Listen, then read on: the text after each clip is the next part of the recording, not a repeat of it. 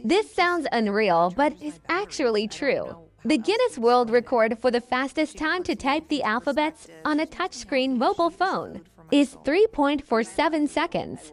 Unbelievable, right?